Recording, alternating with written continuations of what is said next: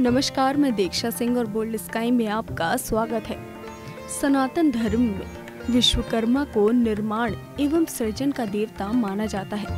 तकनीकी जगत के भगवान विश्वकर्मा की पूजा का त्योहार 17 सितंबर दिन मंगलवार को मनाया जाएगा। इसे विश्वकर्मा जयंती भी कहा जाता है। शास्त्रों के अनुसार भगवान विश्वकर्मा का जन्म माघ शुक्ल त्रयोदशी को हुआ था। इसलिए इनको भगवान शिव का अवतार भी माना जाता है।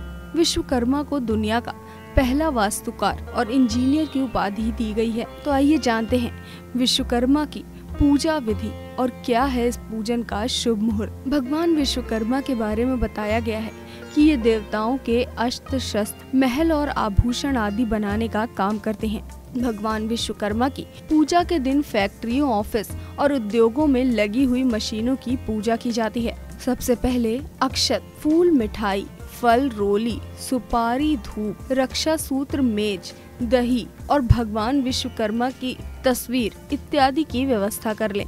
इसके बाद अष्टदल की बनी रंगोली पर सतनजा बनाएँ, फिर श्रद्धा और विश्वास के साथ विश्वकर्मा जी की मूर्ति या फ़ोटो पर फूल चढ़ाकर कहें हे विश्वकर्मा जी आइए मेरी पूजा स्वीकार कीजिए। इसके बाद सभी मौजूद औजारों पर तिलक और अक्षत लगाएँ, फिर फूल चढ़ाकर और सतनजा पर कलश रख दें। इसके बाद कलश को रोली अक्षत लगाएँ, फिर दोनों को हाथ में लेकर ओम पृथ्वी नमः।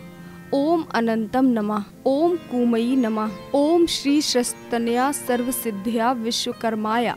नमो नमः का मंत्र पढ़कर सभी मशीनों, विश्वकर्मा पर और कलश पर चारों तरफ़ छिड़क दें। साथ ही फूल भी चढ़ा दें। फिर भगवान को मिठाई खिलाएँ। इसके बाद फैक्ट्री, दुकान, ऑफ़िस, जिस जगह पर भी आप पूजा कर रहे हो, अपने कर्मचारियों और दोस्तों के साथ भगवान विश्वकर्मा की आरती करें और प्रसाद बांटें। विश्वकर्मा पूजा का शुभ मुहूर्त संक्रांति समय सुबह सात बजकर दो मिनट से है। इस वीडियो में फ़िलहाल इतना ही। इसी तरह की अन्य जानकारियों के लिए जुड़े रहिए हमारे साथ।